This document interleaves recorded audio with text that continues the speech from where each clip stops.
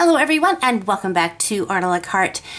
There has been some scary things going around in the world and I know a lot of us are on edge and I don't want to focus on that. But instead, I want to think about how first me personally can help people during this time.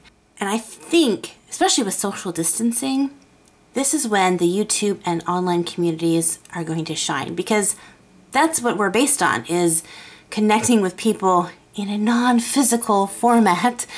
Um, and so we already have a pretty good idea of different ways that we can do this. So that's what I'm working on. I love to color. I love drawing coloring pages and coloring coloring pages.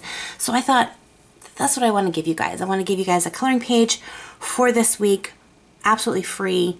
So I started out sketching this and I was trying to figure out what I wanted to draw and I thought, well, this is also a perfect time because it has been quite a while since I have worked on my comic project and I'm a little rusty on drawing the characters so I will take the, the main character from my mermaid comic book and put her in a fun coloring page it was also fun because I researched some different kinds of fish.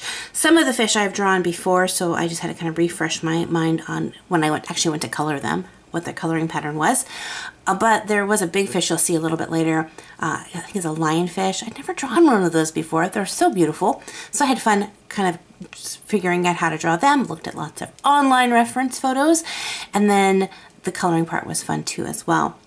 I don't know about you guys, but I have noticed a substantial rise of online communities and online businesses that offer services that have just been amazing. Either they're just producing things for people to do. Um, a lot of my artist friends are doing coloring pages and stories and things like that. Uh, artists I follow, I, I love his art. Ben Bird is creating a daily coloring page, which is so much fun. Um, there are so many different companies that have online services that are saying for the next month it's absolutely hmm. free. And I would love to find more. So I thought this would be a great way. First, I'm getting my coloring page out there for you guys.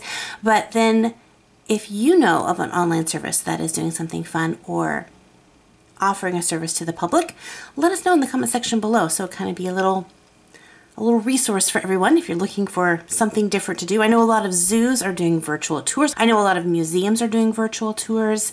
So there's there's just some really fun options. And this isn't a sponsored video by Skillshare, but you guys know I love Skillshare. They're a great online learning community, and I will leave a link to the last video that I talked about. And in that video, they still have their code for the first two months for free. So you might have a lot of time to use thing, options like that to learn and build your skills in art. I'd love to brainstorm with you guys about some fun activities that we can do, either art challenges that we can do as a group. Um, I know the draw this in your own style has come back and so many people are doing that.